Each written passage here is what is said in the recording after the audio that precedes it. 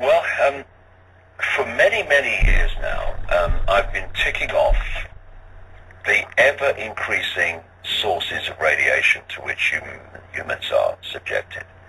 And they are so numerous and being added to all the time. It was very clear to me that there is an agenda here of subjecting humanity to more and more radiation. Uh, it's a long story and many, many elements to why, but the fact that they're doing it is becoming obvious. And so when um, the explosions at Fukushima happened in Japan, um, from my perspective, having having looked at this over a number of years, it was just too much of a gift to this cabal, given the scale, the stunning scale of radiation that not only was released immediately, but has gone on being released ever since. Um, and you know, there's reports recently um, uh, out of Europe of, of, of finding this these high levels of radiation, and it's like, where's it coming from? Well, there's a very good chance of, where it's coming from, because Fukushima has been pouring this stuff out incessantly, um, day after day after day. So I um, started looking into into it, and the, one of the first things I noticed, and other people started looking at this as well, was that the uh, explosion that was captured on video of one of the uh, reactors exploding in Fukushima, and a, the explosion, the, the, the smoke stack of a small nuclear device were uh, extraordinarily similar. So um, I then started looking um, at anything that could have explained this, and I came across the fact that in the years leading up to Fukushima, um, those reactors and that site in general had installed a new um, surveillance camera and sensor system uh, with with these uh, this technology put into the reactors and, and other parts of the site. And when you look at it, you know today that uh, technology is, is getting ever lighter, it's getting ever smaller, and yet um, when you looked at these uh, cameras and sensors that were uh, installed into Fukushima in this the months before this happened, um, they were like ludicrous. You remember, you remember, you know, you get these little, little tiny kind of mobile phones now, and yet when mobile phones started, they were about that blooming big, just as your ear with two ends, you know. Well, it, that was the kind of difference between the kind of surveillance technology you see normally now and these things. They, they weighed a thousand pounds. And then, when you put one of those next to a what they call a gun-type nuclear weapon, which is a small nuclear device. If you take the casing off the gun-type nuclear weapon, what is inside is, shall we say, not a million miles from what these um, cameras and sensors look like. And it was, you know, uh, with other information, it was my view, I concluded, that these were small nuclear devices and that Fukushima was blown up on purpose to release that radiation as part of this much wider radiation agenda to irradiate the atmosphere of the planet much more than it has been up to this point. Um, and then I, I, I asked, uh, of course, I asked the question, um, who put these devices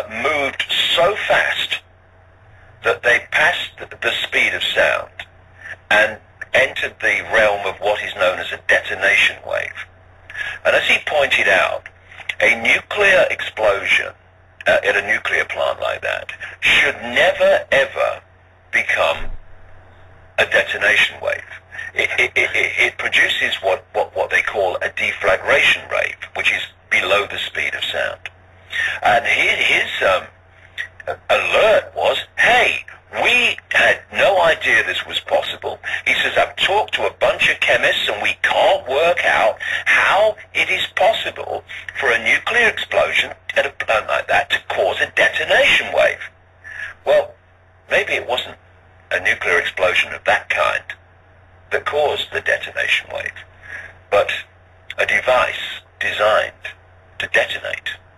And it is my strong view that Fukushima was blown up on purpose um, uh, to release this stunning level of radiation. And then, of course, the question comes, well, uh, well uh, okay, so you're saying that they put these things in and blew it up, and then they just sit around strumming their fingers, hoping that some kind of earthquake and tsunami comes along as cover for it. Well, no. Which is when we come to um, what you just mentioned, HAARP. And HAARP um, relates to a man very well known in this area of the world, Nikolai Tesla. Nikolai Tesla was the scientific genius of the 20th century, and if he was alive today, he'd be the scientific genius probably of the first part of the 21st century. Um, he had understood many things about the nature of our reality. He'd understood about the, the electrical, electromagnetic fields uh, that, that you can access and turn into usable warmth and power, which the uh, cabal uh, that, that owns the energy industry of the world has been suppressing because it doesn't want people to have access to this free energy, which we could have. And by the way, the same people who are saying we must lower carbon emissions because of global warming, which is another mean, nonsense, this human-caused global warming lie. They're the same people that are suppressing the development and use of free energy technology, which, which Tesla developed and understood, um, which could eliminate the carbon uh, power systems, you know, immediately. So it, it, it's all a lie. Okay, I don't want to get into conspiracy theories today, but I did want to give you a sample. That's a recording from David Icke on a YouTube video. And I just want to give the full spectrum of possibility when it comes to Fukushima. Was it organic or was it contrived? That's a good question, we need to examine all possibilities. Everything is on the table. And like a lot of these incidents, uh, there's a whole bunch that doesn't add up. There's a whole bunch that doesn't add up. And, and if you want to look into that, Google a term uh, called Project SEAL. And Project SEAL is a tsunami bomb. Okay, and this is old tech from the 50s, and look into that. Okay, we're going to jump right into uh, to uh, the Freedom of Information FOIA documents. And before it's all said and done today, I'm going to talk about some fatality fatality study, and I'll also briefly uh, speak to Sandy Hook because there's a whole lot of damage control starting to happen even in mainstream media, so we need to have a look at that and address that. Okay, and let me back up because I've gone, okay, here we go.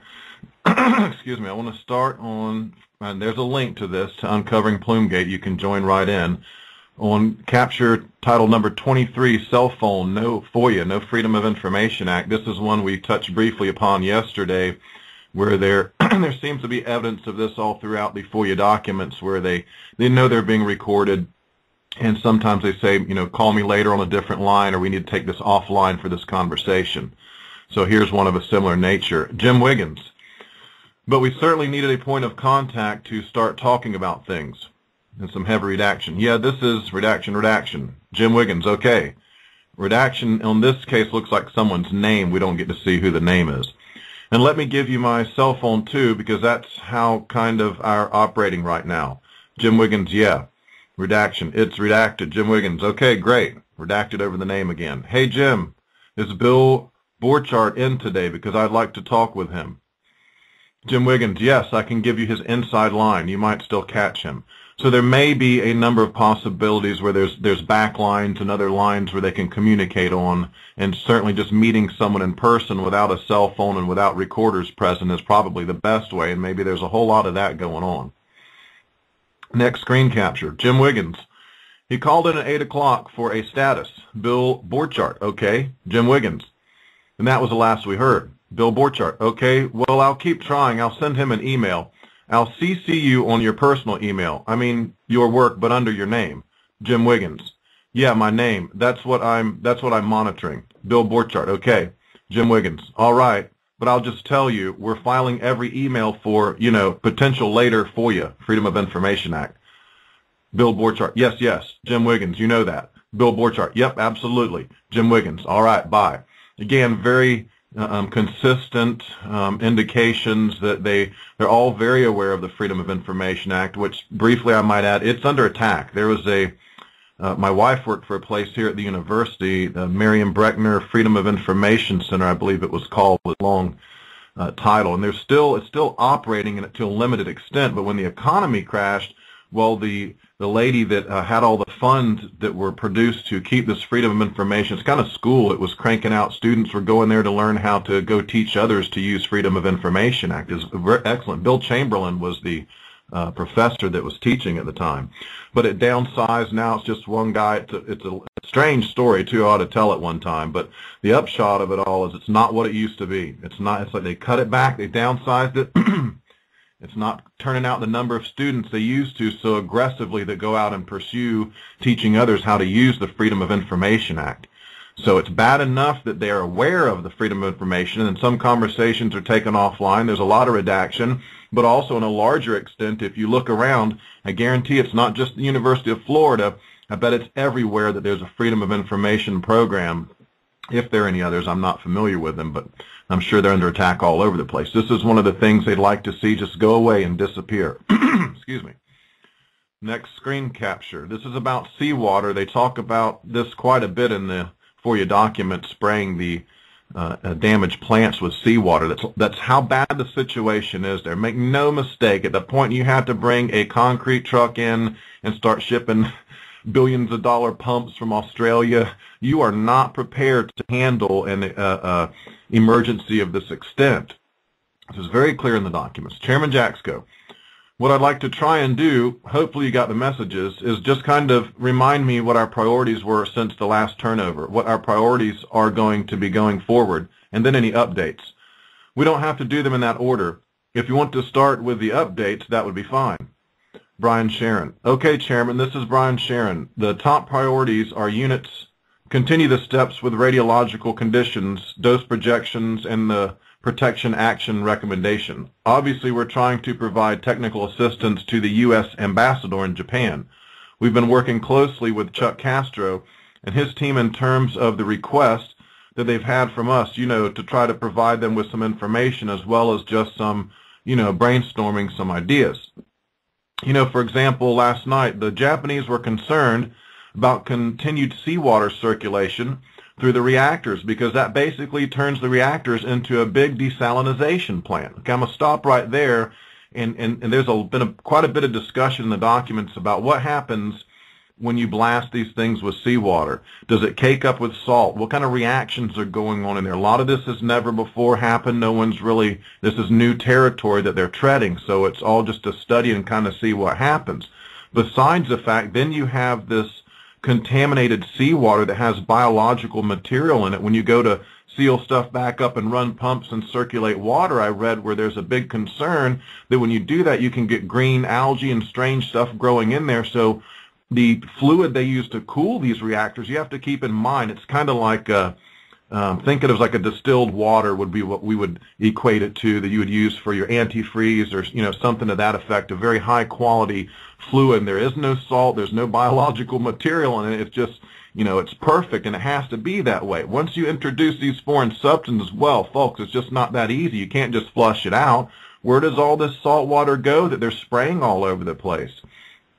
And here later they mention their worry about turning the ground to mush because they're spraying so many ton, ton so much tonnage of water, literally an incredible tonnage of water, and and then there is the ground going to turn to mush. You know that was a concern too.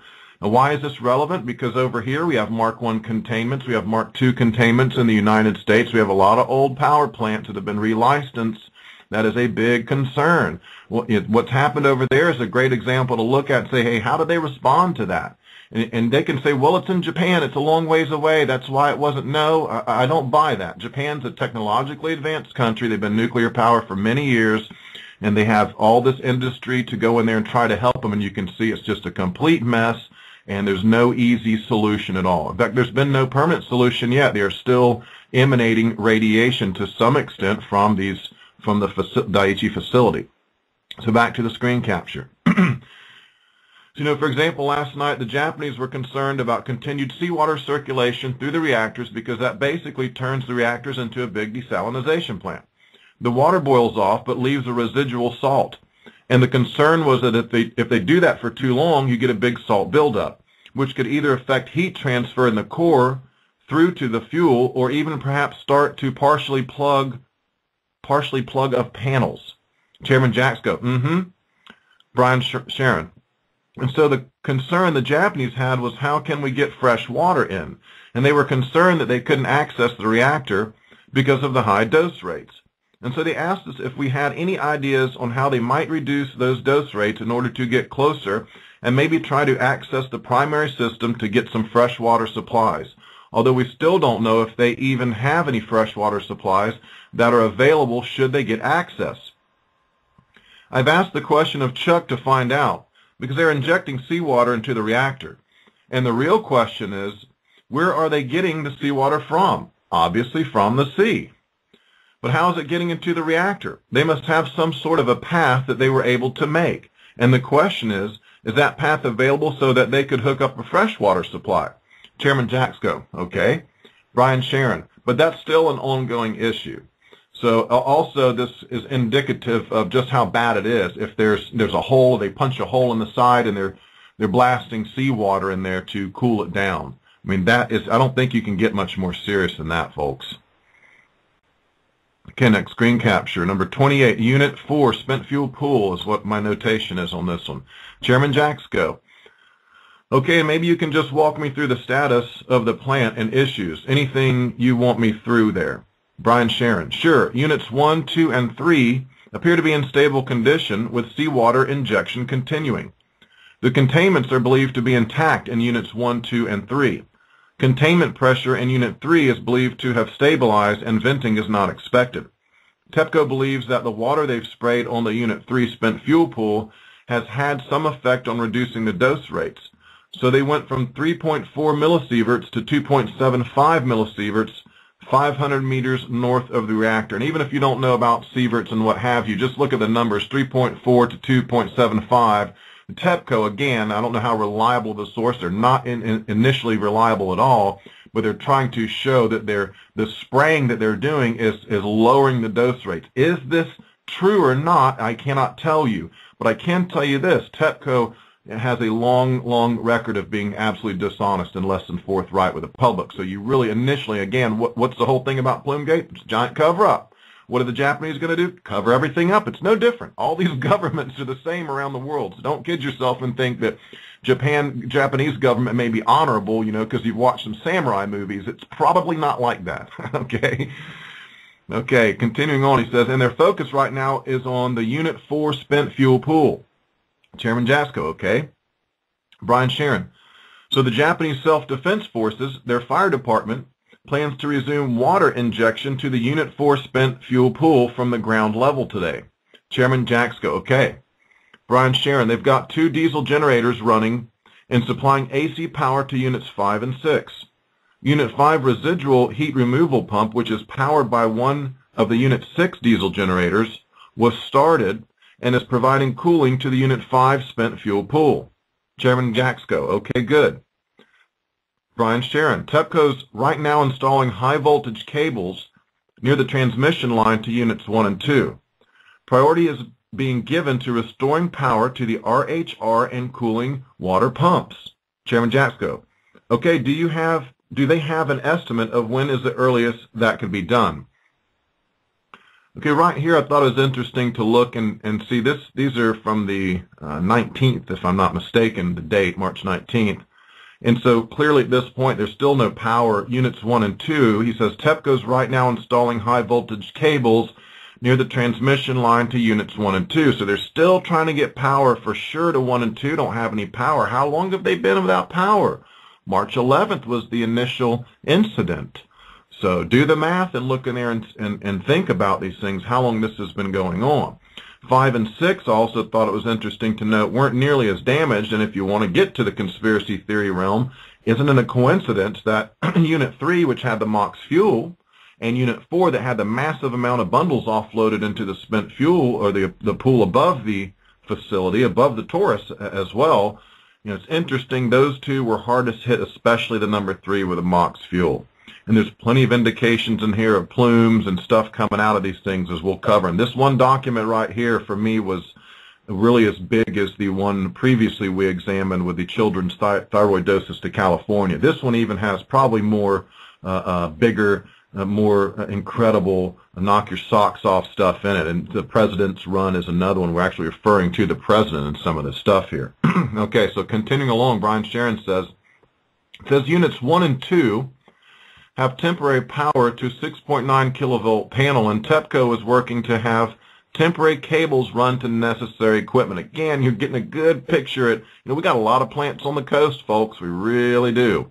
And so when a giant wave of salt water washes up there high enough to go over and inundate all these electrical panels, I've been very clear on this, and very clearly in the documents early on, they tell you what a mess it is because the circuitry, the electrical boards and the grids and the panels and everything is washed up with salt water. It shorts out and then it's just totally ruined. You you can't use any of it. It's, all of it is absolutely destroyed. You get, you know, you, you might be able to strip wire down and recode a wire or something. That's going out. That's out of the, you know, over and above the call of duty. So all of this stuff is in a condition where you can't easily have to begin to roll new wires in, get uh, power back to it, reestablish another circuit board, replace the sensitive equipment that was damaged. If the water goes high enough, who's to say even in the control room you can activate, there, there's discussion in here, are the electronics even still good? Once we get power to it, is anything going to power up? How much has been flooded with water? You've been spraying it with hoses with tons and tons of seawater. Okay, so this is, if you think it's going to be an indifferent when it happens over here, it's probably not. It's going to follow right along what happened here. There'll be a big cover-up. They won't be honest, just like with Fort Calhoun and the flooding that came real close to causing an incident there. There's a blackout on that. You had to find a French uh, website to find pictures of Fort Calhoun. That's the best I could come up with. That's how tight the blackout was. Okay, Chairman, Chairman Jaczko. Okay, Brian Sheron. Chairman Jaczko agrees a lot. He just says okay a lot, doesn't he? Brian Sheron, power to units 3 and 4 is planned for later, perhaps by Monday. And that's really about all we know right now in terms of where they are with electrical hookups. So by the following Monday, they're saying they'll have power to units 3 and 4. That does not mean that the control rooms are up and operating, all the equipment's good. That simply means there's a hot line in there, and they can hook into that and then begin to use that to power, you know, they could power tools and stuff to begin to make repairs and effect repairs, okay? But you at least have a source of power. But no, it's not the entire power grid and wires and boxes and everything are not replaced magically and become brand new. It just doesn't work that way. Unfortunately not.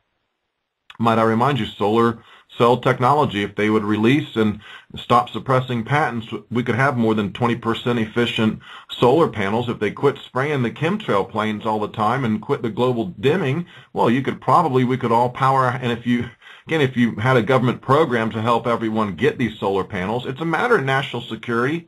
And in my mind, it's an, an absolute matter of national. You can well, you can either settle for a very dangerous uh, uh, position with these nuclear plants that if, if you take the route David Icke talks about, we're worried there's a rogue element that are, can use these to blackmail countries. They trick you into having a nuclear power plant, say, hey, it's a great monopoly, your people can't reproduce it, you make a lot of money, GE will sell you the plant. Then later on, what do they do? Well, any number of ways you can, if we look at the Stuxnet virus they used on Iran, there's any number of ways to cause a plant, a, a catastrophe at a plant.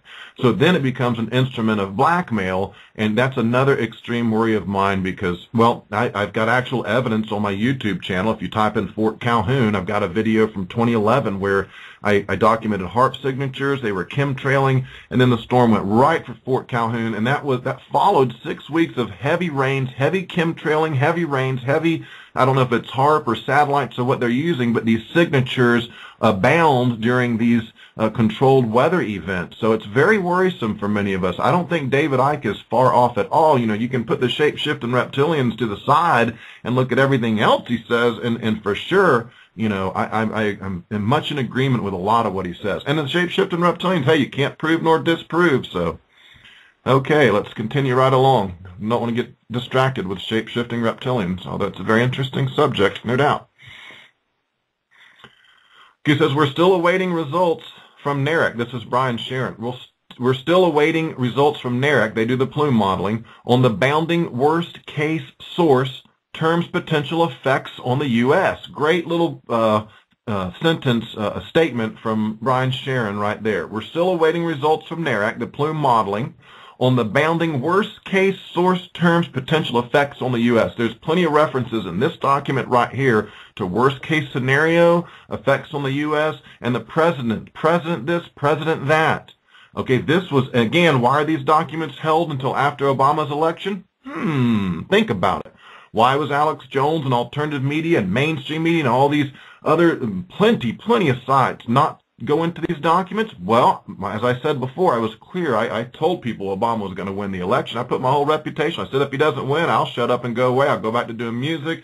I'll do recording. I won't do another uh, activist video or article or broadcast or anything. Well, I knew he was going to win just based on the amount of energy and effort that went into covering him on just the kind of stuff I'm reading about now. It's not quite as damning as this document here, but it's pretty close. The children's thyroid doses and, and plenty other stuff in the, you know, that we've already covered.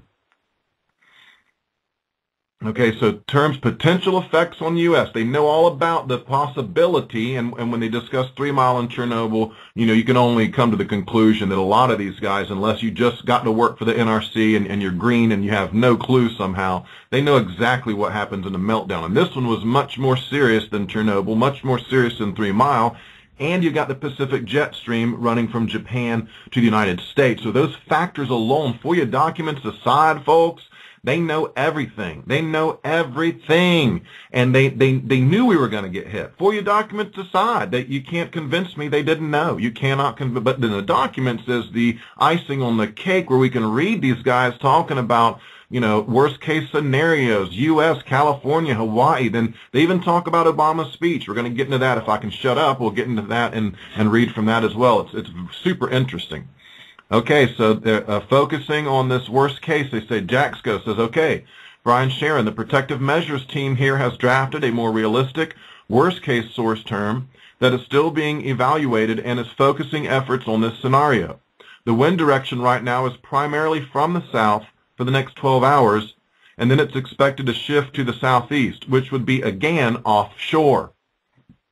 Chairman Jaxcom, okay, do we have an update on the Bechtel equipment from Australia? Brian Sheron, I don't. I apologize. I was not given any new information. Okay, that, I think this next clip is in regards to stability off-site power. Okay, Chairman Jaczko, he says, okay, good. Larry Camper. So it sounds like the progress is taking place there. Chairman Jaczko, good, good.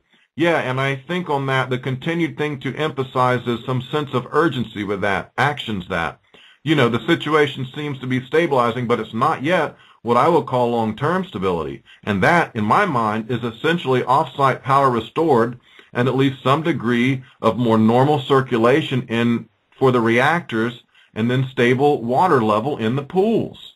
That okay, again, out of all these characters, I like Jaczko. And he that's probably why he's down the road right now. They had to get rid of the guy because if you don't just totally uh, lose your spine and let your spine turn to jelly, they need to get you down the road. You're not in full cooperation.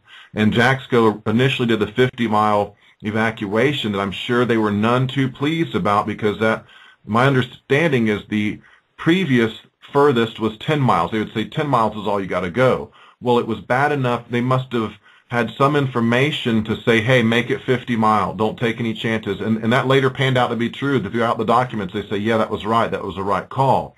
But that was a red flag to everybody else to say, hey, this is pretty darn serious, serious enough to go to 50 miles. And so then all of a sudden, people who were genuinely concerned and, and others that are posers like Associated Press, they began to file for freedom of information. Of course, you won't hear some of this stuff on, you'll never hear it on Associated Press, ever, ever. Kujasco says, good, good. Yeah, I think on that the continued emphasis is some sense of urgency with that. Actions that. You know, the situation seems to be stabilizing. This makes total sense. But long-term stability, he's saying, is off-site power restored and, you, and you're having circulation in the reactors again to some extent. Stable water levels in pools. Right now there's a lot of discussion. Number four is dry. There's no water in it. We're not even seeing a mist coming out of it. Brian Sheron. Yes, sir. What we don't know right now, and I think Chuck Casto has expressed concern, and that is that even though they've gotten off-site power back onto the site and are in the process of hooking it up, we really don't know whether this equipment is going to is going to run once it's hooked up. Chairman Jaczko, yeah, yeah. Well, are we thinking ahead if that were to happen about, you know, alternate pumps and other other ways we can bring in portable pumps that you could, Brian Sheron? Well, that's what's coming in from Australia. Chairman Jaczko, okay, okay, good. So that would deal with all that. Brian Sheron, yes. Chairman Jaczko, okay, good. Brian Sheron. But the problem, one of the problems was trying to find places to hook up to. Chairman Jaczko, yeah, got it. So pumps are not an easy solution. We can see that. Okay, number 33, Tokyo Rads. Chairman Jaczko, yeah, got it. Okay, other updates. The status you have for me?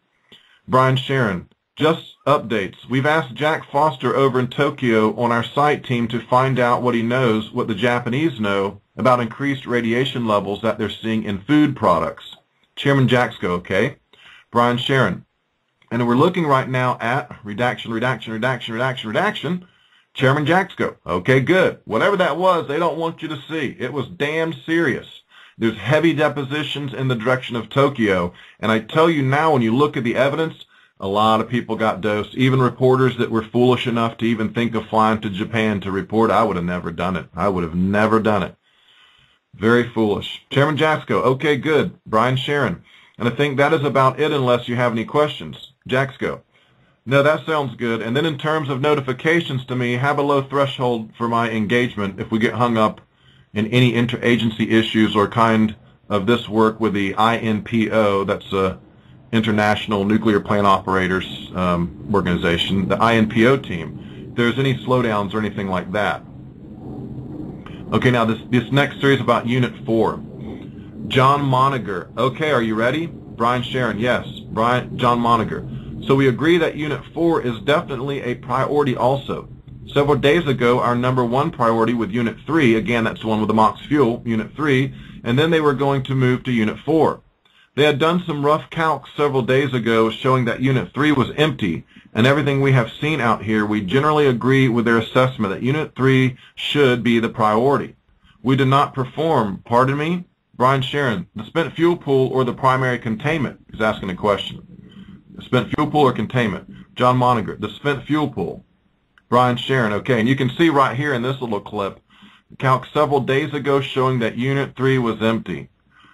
A lot of this shows exactly what you know what they knew at that time. There's no water in the spent fuel pool. And number four, they're very clear they don't believe what TEPCO's saying, and they don't believe these therm thermal scans. Later in some of these clips, we'll talk about the TEPCO's alleging to have done thermal scans, scans, but they're maybe thermal scams because in the end they don't they don't believe what they're telling them. John Monninger. Okay, so that was back on 3, looks like 318. It was TEPCO who had performed a calculation with regard to six days being left. But they said those calculations have large uncertainty in them. They have no clear indications, you know, what the level is in the buildings. They've been trying aerial photography and all kinds of stuff, but, you know, they really don't know. They've also been doing the infrared detection, and they say, you know, all pools show at or less than 100 degrees Celsius. But, you know, with the amount of rubble and stuff on top, it's, it's very difficult to, to be able to rely on any of those indications. Brian Sheron. Well, the yeah, go ahead, go ahead, John Monninger. We out here, we have been concerned about spent fuel pool reactor 4 for a very long time also. You know, the stuff they're doing, you know, initially the fire trucks and now, then they had this, the riot spray pumps, and then yesterday, or, you know, probably about 36 hours ago, they brought in that airport super high capacity remote unmanned pumper truck. Brian Sheron, yep.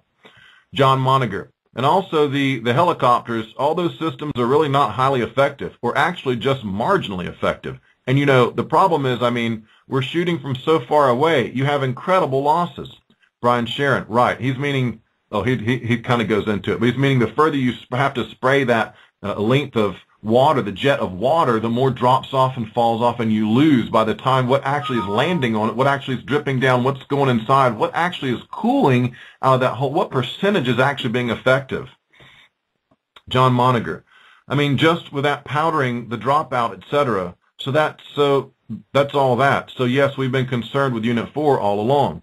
And I think Unit 4 is the one we got in a little bit of trouble with, with, you know, the assessments of structural integrity to the side of the spent fuel pool wall.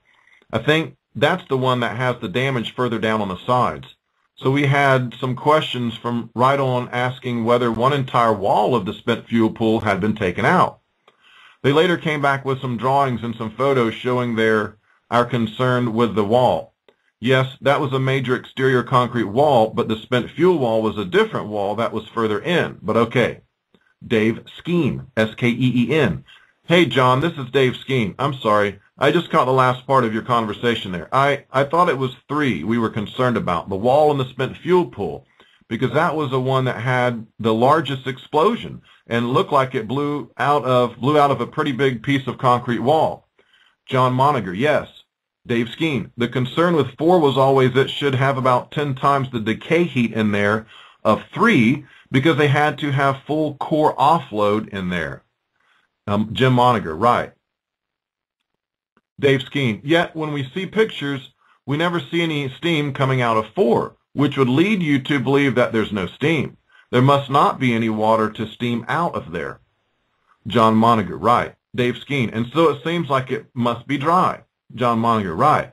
Brian Sheron, John, what we're looking what right now is, you know, the, the fellow from Naval Reactors made a recommendation that we should get the rest of those pumps and associated equipment that's in Australia on airplanes and over to, to the site. The question is, I have no idea, you know, you know, it's a nice, they, they know, they say it's a wonderful thing to do, but I have no idea. John Monninger. Some of this transcription may be poor. It might not make a lot of sense. It's kind of broken in some places clearly back there, let me back up before I go to this next screen capture. You know, you can see the severity of the situation between three and four. Again, three with the MOX fuel, and number four with his incredible num number of bundles offloaded. And there's discussion later about did they position those bundles evenly in the pool because if they put them all on one side, it would be uh, the heat would be more in that area. And so once you lose cooling capacity, you may have more chance to go to a zirc fire or some kind of melt much quicker. And so that's a concern in here they talk about. But these last ones here and the ones we're going to look at are very indicative as to the actual state of three and four, and that one and two are bad, no power there, but they're the efforts are concentrated on these other two. So I, I tell you now, probably the worst has already happened, and so much has been released now. It's an incredible amount. Okay, there's some redaction there, but then it goes on to say, so you know, I, I'm giving you the context. So you know, if you try to discuss the spray systems, two, three, and four, you know, right now, one, one train it is incredibly unclear what will happen with this one system when it lands in our country. The train he's referring to is the Bechtel pumping system, one unit of that pumping system, one train. It's incredibly unclear what will happen with this one system when it lands in the country. Brian Sheron. All right. So I guess I'm gathering from this that you don't need any more pumps right now. John Monninger, right. Brian Sheron, but the concern, I guess, that was expressed over here, and I don't know if you guys looked at it independently, is if the is that the spent fuel pool in number four is dry, right? John Monninger says right. Brian Sheron, and you know apparently has a full core offload on there. Okay, it's dry and has a full core offload on there. You know, is this is it a molten mass that's starting to head into you know starting to interact into the concrete? John Monninger, right. We are, we actually think the steaming is good, and we've raised the concerns, you know, multiple times uh, when the steaming, when the steaming stopping. You know, they're, they're at a loss what to do. They're at a loss what to do, he says a second time. You know, the helicopter overflights, you know, it's reported out and you go to the meetings and they say, you know, so many, not hundreds, but so many tens of tons of water have been dropped, you know, or hundreds of tons of water have been dropped and then you look at TV and you're like, well, that cannot be like less than 10% effective due to the speed of the helicopter, the winds, etc. And they acknowledge, and you're, you know, so the one thing is being reported in the media that these fire trucks are going in and out, the helicopters are doing this, the supercapacity pumping system. But then when you get actually down onto TEPCO, into TEPCO and start talking to the engineers, you find out that it really isn't that effective. So we, you know, in terms of, you know, that pool, uh, well, I should stop right here while I'm thinking about it. What this is showing you right here, if you look at what these guys are talking, they know how serious it is. They know how serious it is. They know. They know right there. All these people, they knew. And no one gave us any kind of warnings over here when Taiwan got them, France got them, UK, places farther away like the United Kingdom and France got rainwater warnings, green leafy vegetable warnings, that kind of thing. So this is incredible. Absolutely. This, this document right, this one right here, and when we get to the back of this document, we might not get to it today, but this week we will. They start talking about these Navy ships, and there's information here that needs to probably come up in that lawsuit that's going on right now. And this is reliable information because it's documented in the form of the FOIA information here, and it's you know it's something that is excellent to use at a trial when you can say, hey, they knew this, they gave coordinates somewhere, they're talking about heavy doses and what to do with the Navy and the ships. You know, interesting though. Okay, let me continue along. So we, you know, in terms of, you know, that pool or even Unit 3, I mean, Unit 3 was, you know, they believe Unit 3 was, you know, they believed Unit 3 was dry. And they just come out and say it. Again, they all know they're re being recorded for you, but sometimes they just have to spit it out. They believed Unit 3 was dry, he says. And it was multiple days before, you know, they got those, even those first fire trucks in. So that's why they put their priority on Unit 3. And they believe that they had some time on Unit 4. They had moved some, some equipment over to Unit 4. I just, you know, so they are working both Unit 3 and Unit 4. But, you know, we've pushed on very significantly to, to, you know, what is your assessment? Why do you believe what we're doing is effective given this huge spray range? And that's John Monninger speaking there. I want to make sure I go back and make that clear on that little uh, section. And he ends up saying, what do you believe that, that what you're doing is effective given this huge spray range? And they come back and say, well, and there's some redaction in this section. And he says, and inaudible. And a lot of times inaudible is used when I, I, you know, I'd like to hear the tape myself. I don't have time to go through them, so don't send me links to tapes and stuff. And inaudible, I said, well, if that's the case, why are you relying upon it? They say, you know, if anything was hotter, uh, redaction, redaction, redaction, I said it was our understanding throughout discussions with you guys that the Unit 1 roof did not explode outwards and all the debris go all over the place, but essentially drop down on, on the slab onto the pool and the refueling floor. Okay, that I thought was pretty hardcore right there. Essentially what he's saying is a Unit 1 roof did not explode outwards. It fell back in. It dropped down on, on the slab onto the pool and the refueling floor. And a lot of places here, a couple places, they say even if you're pumping it with a jet of water, essentially the roof is collapsed and it's covering it. It's not a direct, it's not directly hitting what, you, it's not like a house is on fire and you pull up in your fire truck and of course you, you hit the fire dead on, right? It's not the same here. We have stuff falling back down on it, containment, you know, it's, mm, nuclear power, what can I say? Beautiful, isn't it? Okay, back to the document. I said if that's the case, redaction, redaction, more or less, for all four sites, how can you say that? You know, one, because the roof, you know, is three inches or so of concrete.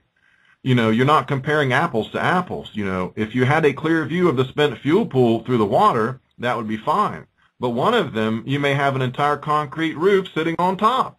Others, you have varying amounts of debris. And you know, there's really no response.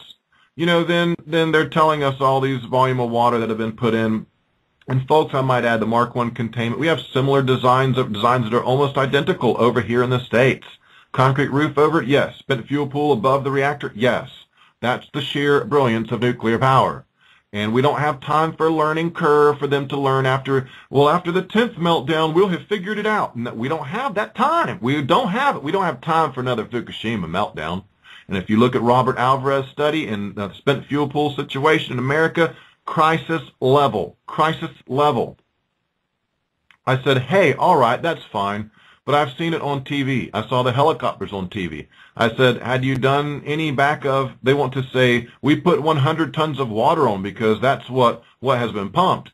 I said, have you done any back of the envelope calculations? What would it take to fill that thing and throw in your losses for spraying and throw in some type of estimated losses for what may potentially be getting through this debris? No response. You know, then the other thing is, all right, so your fire trucks are going in, your trucks are going out, your fire trucks are going in, your fire trucks are going out. You're telling us the number of truck runs, these tons of water that have gone in there. Do the fire trucks have rad monitors on them?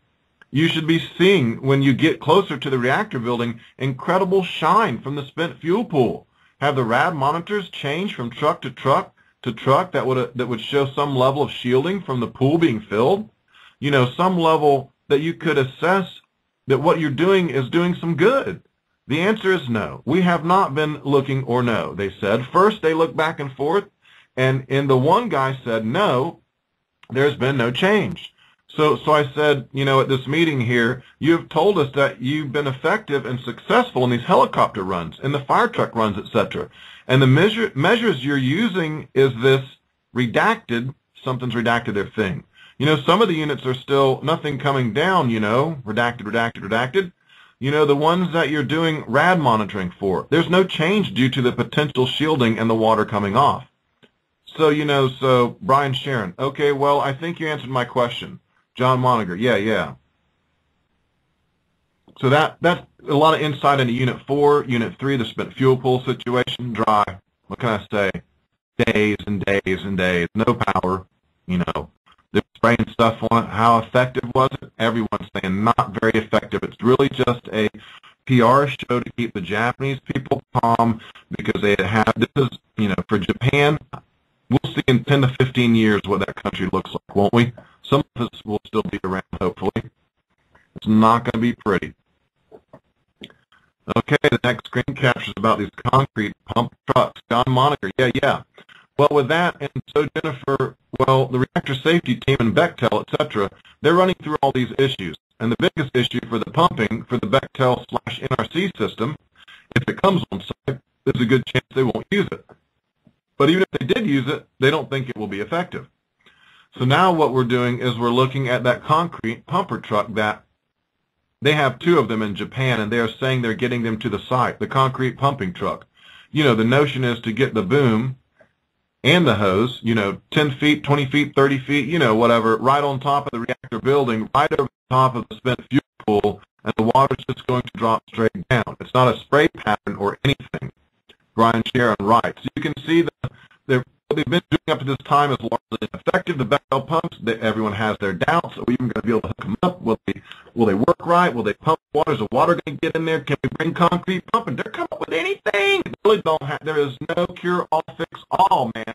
And we got these all over, not just in the States, but again, as I say, this is a, a weapon of blackmail when you think about it any country with foolish enough to build a nuclear power plant is now subject to a terrorist attack on that plant. And this was clearly stated by General William S. Cohen in 1997 at a, some kind of committee meeting or whatever. He was asked, he went on to elaborate about eco-terrorism, where even now people are using electromagnetic magnetic waves to set off volcanoes and earthquakes remotely. Back in 1997, our own General William S. Cohen, many of you are familiar with that and have heard this before, some of you may have not but you can Google that and look into that. It's an absolute fact. This is a big worry of mine. These things are extremely dangerous. It's very hard for a terrorist to hold you hostage over a solar panel, right? He can say, I'm going to blow up your solar panels. Go ahead, fool. Go ahead. I'm going to have you arrested, right? But a nuclear power plant, you know, And then there's this craziness, if you've seen the E&E News article about the machine gunners they're going to have to position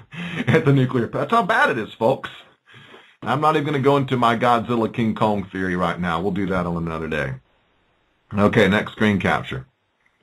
Again, about the Bechtel and the concrete pumps. John Monninger. So one, one of the things that you guys back there are doing, Bechtel and Company, is looking at, hey, how can we use 90% of this system that is coming out from Australia and hook it into the concrete pumping truck? I mean, there's, you know, probably 6-inch or 8-inch pipe there. You've got the boom for the concrete pumping truck, and then you've got the steel piping that actually carries the concrete. You know, what can be done to put the T in there, you know, some type of connect into the concrete pumping truck? You know, one of our things, potential concerns with the concrete pumping truck, which is the TEPCO system, is the notion that, you know, is that really a system that is rated for continuous 24 hours a day, seven days a week, 365 days a year operations? We want it, and that's one, one of the design concepts or philosophy things was for the Bechtel system. So the the, the con- concrete truck, he's saying, it's not. Is it designed to go for a whole year if it had to? You know, maybe the Bechtel pumps are, but that's again, it's not an easy fix, as as we'll see throughout these documents.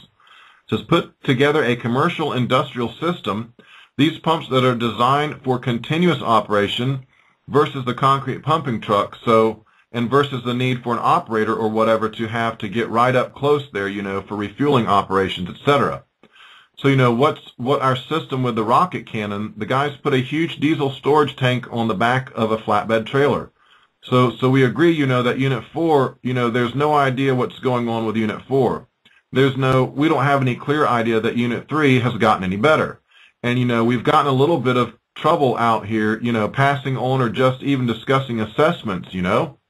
And, you know, if you guys want to talk what you're talking about before, you know, the spent fuel pool, you know, going through the floor, which is in my mind too, and I've mentioned it to several people, what's that going to do? Right now, the rad levels at that site are high as hell, okay? You know, several of us have talked about if that happens, are the rad levels at the site somehow going to skyrocket? Okay, now they're talking about the spent fuel falling through the floor, and what's beneath that? The torus. That's the big circular thing inside the, uh, the, it's part of the nuclear reactor. Again, I'm not an expert on all this either. I'm going to have to brush back up on them. I've got some diagrams and some documents to look at these Mark I containments and, and study them. Okay, again, the next screen capture about pumps and rems. Uh, he's continuing from before. Let me back up. He says, okay, you know, if that happens, are the rad levels at the site somehow going to skyrocket? Skyrocket, I mean, they're already 10 to 30 rems per hour in areas. If it goes through the spent fuel pool floor, what is that going to do to access to your site to continue to do anything for Unit 1 spent fuel pool, Unit 2 spent fuel pool, Unit 4 spent fuel pool, or the three reactors? So that's, that's, that's a concern. You understand that. Dave Skeen, yeah, we got you, John. We'll take a look at that. Okay, and this next one is about seawater again. A big concern when you're going to use seawater. Fresh water would be better, but either way, you're, what kind of mess do you have with the radioactive water seeping into the ground, spraying all over the place? You know what? I I got to give the guys credit that go in there to to do damage control. Uh, wow, they just got a lot of balls. I don't know how else to say it because I'm a coward and I probably wouldn't go in and do it knowing that what my eventual fate would likely be. I guess it just had to melt down and I'd head in the other direction as far as I could go. Okay, John Monninger, right, right. So Chuck has had two meetings with the CEO, the CNO of TEPCO. Yesterday, he, the CEO, the CNO, told Chuck the two areas that are most concerned to him, where he really needs the most help with, is this issue of salt accumulation in the reactor and help determining what the hell they should do with the with the radiation fields on site. So that went to Chuck, Brian Sheron, John, John Monninger. Yo, Brian Sheron. One of the questions I've been asking, and I think everybody's scratching their head, and that is that they found a way to pump seawater into the reactors, right? John Monninger, yep, yep. Brian Sheron, well, where are they, where is that hookup from? Where is, where is the function, where's the function coming from? And can they access it to get to, to put, if they had freshwater supplies, could they access the suction point and hook up a freshwater supply? John Monninger. Yeah, and that's that's what we said. You know, just it's being sucked from the from the ocean, and they never said whether there were stationary diesel pumps down there or if it's a daisy chain of fire trucks, whatever. But yeah, it's you just switch the suction. You just pull the hose from that damn source to this tanker over here. You know, so we it's it's you know it seems so obvious what the solution is. You know, and not only that, you know the thoughts among the team is, you know, so you've had this evaporating for all these days. Well, once you have the fresh water, you don't want to continue this, the boiling in there, if there's a current concern with salt. Do you want to consider upping the game on the pump and start flushing out the system to start depleting the salt out of the primary system? And after you've done that for so many hours or whatever, you throttle it back to what? You know, steaming for decay heat. Brian Sheron, right. Dave Skeen, right. John Monninger. But but with that, you know, they told Chuck that his number one issue, we need help on these two issues. Very shortly after that, went to a meeting with the Ministry of Defense. They wanted a status report on our efforts and recommendations for those two topics. They wanted our assessment for those two topics. We're like, you did guys just inform us that these are two concerns you have, you know, so that was yesterday. Then Chuck met, there's a problem with the days back and forth there. But then Chuck I don't know if these are sequential pages. Let me make sure here. This may have skipped another page, but again, this is related to seawater, screen capture titled 52 Seawater. Probably about 18 hours later, 12 hours later, met with the CEO and the CNO, and he said, we are in need of significant dire help on these two issues. I think this is a direct continuation, yes. So Chuck is, five seconds before Chuck strolling in, the lead engineer or my interface from TEPCO has me on the phone. How quickly can I come down here to discuss these two issues? And Chuck's like, you've got to get down there. We've got to be working on these issues. You know, if the CNO is pushing, they have to know something. If their CNO is pushing us, actually asking us for help, they have to know something. It has to be more severe for them to really be inaudible. So I'm arranging these meetings with these guys. I call back to Jennifer. I get Jennifer to get, you know, so this is Sunday night, midnight, Saturday night, midnight for you guys. Sunday night, midnight, 1 a.m., 2 a.m., Dave Skeen, right? And this is kind of amusing because later they talk about the time change. It's like you're either awake or in, you know, over here, you're asleep over there. If you're asleep over there, you're awake over here. So it doesn't mesh with the American time and the Japanese time. And, and I do have some feeling for the, what these people had to go through to their hours and the, you know, how they must have conditioned they must have physically been in as far as being you working at these oddball times and having to wake up whenever the phone rings because you know you have to answer it if the if it's important as any of these are. Okay, John Monninger. I get Jennifer to get all these guys from GE, Exelon, INPO, the International um, Nuclear Plant Operators, etc., on the phone for this discussion on salt. What the hell should we do with it? We get in the meeting and got all Jennifer's team on the web and what do they want to do? They want to talk about the pumping truck. That's when we get the 20 questions on the pumping system, you know? And then there's a huge block of redaction right there. Just the rest of that page is redacted. Into the next page, Brian Sheron, all right. Dave Skeen, all right. So, John, you say you're going to try to set up another call to talk about salt, maybe tonight on the midnight shift again. John Monninger, I have told these guys, told those guys we are ready. We will meet with them whenever you want, anytime you want. I've said we would get the people back in Washington on the phone because we can always pull the reactor safety team in. Whether we can get the expanded team with INPO and all that kind of stuff, you know, who knows. But I said any time of day we will come down to your building. We will meet any place you want. You know, I'll let you know. Dave Skeen, okay. John Monninger. I mean, yeah, the other thing is we go down to the meetings now. We have to take that taxi cab into the basement garage.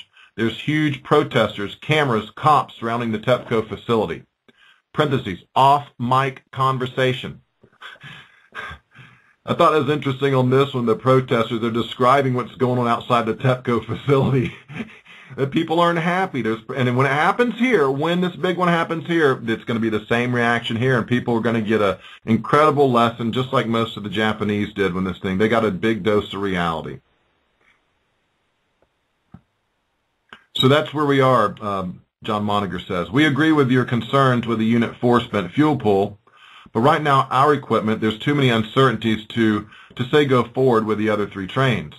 Dave Skeen, okay, well, we'll go take a look at the how can we use the Bechtel system to tie into a concrete pumper truck. I really don't think that's going to be a big concern because we were tying to a fire a rocket launcher anyway. John Monninger. So yeah, and they're like, how do you do that? How do you do that? I say, you put a freaking T in the system. It's a pipe. It's no big deal. I said to them, this, this system is nothing. This is basic hardware. This is basic piping. There's nothing commercial grade here. It's just industrial piping. This guy is a engineer, a practical engineer, and, and that's what he's saying. Well, I don't understand what the problem is. You put a T pipe in there, and, and it, you know, it splits the uh, splits the direction of the water. Dave Skeen, have you seen a copy of the Bechtel system? I mean, they, they made a little engineering drawing of the whole system tied together. Did they send that to you? John Monninger. There, so there was, I think that was maybe, I've seen three different renditions. That was the original uh, Joe Williams cartoon of it. Okay, this is the schematics and the drawings of the Bechtel pump. That's the best they got. Again, this industry is just totally discombobulated, unorganized, hasn't a clue what's going on. Do you really think they're going to respond over here when it happens in a professional uh, manner as if they've well rehearsed and practiced with all the equipment, everything in place, backup systems, tertiary systems, everything's ready to go, men trained on a constant basis, ready for multiple uh, different problems at the same time of an unknown nature. We have a whole other team to uh, uh, deal with unknown, unforeseen. No, they don't. They don't have it. It's not like that. I guarantee it. It's just not. Dave Skeen, yeah. John Monninger. Then there, yeah, then there was one, there was actually a, a spec sheet, you know. Dave Skeen, right, inaudible. Drawing, yeah. John Monninger, yeah, yeah, the engineering drawing, yeah. We had that out. We have shared that with them, etc. But they, when they came to us, you know, today in the meeting with, with TEPCO, they said they're talking, you know, this boom truck, boom truck, 58 meters. Well, we, we, what happened is they, you know, they were like, can we shoot up 50 meters versus 58? I said, well, yeah, it's no big deal. I said, we'll, we'll check into it. But the design specs for the water cannons were 50 meters high, and I think 100 meters out with 500 gallon per minutes. I said, you know, if you're not telling us the 58, we think we'll be able to Throttle the nozzle down to reach the 58 meters. We'll have Bechtel and all run it down. But you may not get 500 gallons per minute in there. But we said we threw a margin in there anyway, so we said we didn't think it was an issue. But the whole issue with the 50 versus 58 wasn't for the fire rockets to reach that high. It was what they said they believed we were bringing that they said they believed was on this flight from Australia, these super concrete pumper agitator pumps. They said, no, that was your system there was that was one of the options in the Bechtel drawing, but all of our discussions with you have been on the fire rocket system. They said, well, no, we had believed you were bringing the concrete pumping truck. I said, you already told us you guys have two of them in Japan. so you can see a little bit of, uh, you know, again, wow, discombobulation, lack of communication, and it doesn't, like anything they bring in, isn't going to be an easy fix anyway. Okay, I'm going to read a couple more of these and sum it up, and now real quick discussion of Sandy Hook, and I've got some recording to do on my new song, so I'm anxious to get back to that. Okay, this next one, 58, is titled DOE Summarizing Reports to Washington. John Monninger, yeah, the meetings we go, yeah, the meetings we go to, you know, a lot of them we're, well, the ones we go to, we're the lead with the NRC. But you've got a huge contingent of people from the Department of Defense going with us, Air Force, Navy, you know, DOE guys are following us around, you know, whatever. It's, it's actually pretty good to have us all in the same room there. So, and the DOE guys, they're filling detailed reports, you know, summarizing all the interactions and shipping it back to, you know, to their people in Washington. Dave Skeen, all right, well, I'll let you get back to whatever you're doing there, John. John Monninger, all right, I'm getting ready to jump in the shower. Brian Sheron, okay, okay, and that's probably a good one to stop on here. And, and we're going to get into some interesting stuff about meetings on the Hill, uh, the president's this, the president's that. It really begins to pick up and, and it becomes very serious too. In the end, we'll examine this back and forth, what I believe to be a discussion of a hot spot, and they give coordinates and they talk about the Navy ships and what are we going to do about that. And if you read through, through there's some redaction, but you kind of get a feel that you know, this is part of the issue these sailors are suing about right now. You know, it's not like the Navy ships just were sent there or moved into the area. We have multiple uh, bases, Okinawa and others since World War II. We've owned Japan. We've never left. They've wanted us out of there for some time. We have ships there, uh, air uh, strips. We have bases there, a very heavy U.S. Uh, presence in Japan. So at the time of the meltdowns, part of the concern, and you can hear them talking about it, is in regards to positioning of boats and ships of our military, of the Navy, and also positions of bases and troops that might be affected. And you can clearly see in the documents plumes headed towards uh, uh, Tokyo. And, and so the evidence is there in the documents that the whole place got blasted. There's depositions inland. There's plumes floating out to sea. Uh, we have ships that may be in the area of some heavy deposition, and they even give coordinates. I'll have to uh, Google this and type in these coordinates and see if I can give you an exact spot. And that's where we'll pick up with tomorrow and Friday. And, you know, if things go well every day next week, although as I say, I'm recording right now and I want to try to get something done on a couple of these tunes. Okay, so if you're recording for Plumegate and the NRC for your documents, this is where you want to turn your recorder off. And we will come back to this tomorrow.